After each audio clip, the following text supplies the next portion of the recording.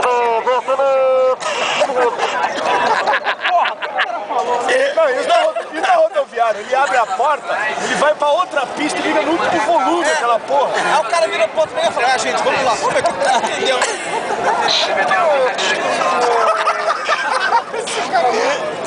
Dormindo, né? Mas ele entendeu. Que graça,